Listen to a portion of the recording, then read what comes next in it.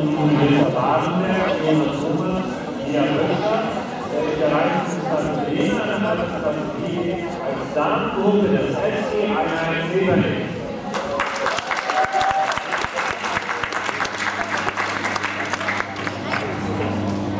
Nein, das ist